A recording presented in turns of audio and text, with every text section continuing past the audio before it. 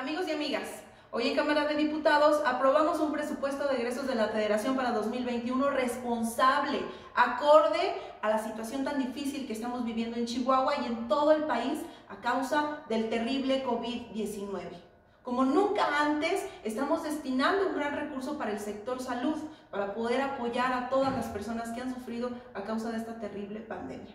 Si bien es cierto que dan mil millones de pesos menos para que los gaste el gobierno del estado, también es cierto que hay 5 mil millones de pesos más como inversión directa de la federación en el estado de Chihuahua que se irán en proyectos y programas de inversión para beneficio de todos los chihuahuenses. Por ejemplo, para atender la gran demanda que existe en el sector de energía eléctrica. Estamos dando la cara por los chihuahuenses. Pero también estamos invirtiendo mucho más recursos para fortalecer la creación de empleos en el estado de Chihuahua y desde luego ampliar la política de bienestar, que es una inversión de más de 9 mil millones de pesos, cuatro veces más que el último año del gobierno de Peña Nieto. Pero también se está invirtiendo una cantidad muy importante para fortalecer la seguridad a través de la Guardia Nacional y la Secretaría de la Defensa Nacional. Esto quiere decir que efectivamente va a haber más dinero para los chihuahuenses, pero que no va a pasar por las manos de la mala administración encabezada por Javier Corral.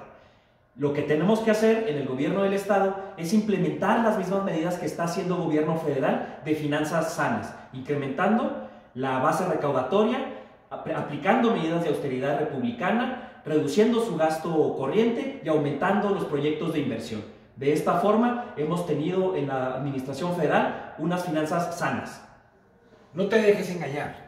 El gobierno de Javier Corral está pidiendo más dinero, pero no está pidiendo más dinero para ti ni para, ni para el resto de los chihuahuenses. Está pidiendo más dinero para él. ¿Para qué quiere el dinero Corral? Si en más de cuatro años de gobierno ha demostrado su ineficiencia, no ha habido obra pública, no ha atendido las necesidades más urgentes de la gente. En este presupuesto estamos dirigiendo el dinero brincándonos el obstáculo que es la burocracia del gobierno estatal y de algunos de los municipios para entregárselo directamente a la gente, a los estudiantes, a los adultos mayores, a las personas con discapacidad, a las personas indígenas, a los campesinos y a las campesinas.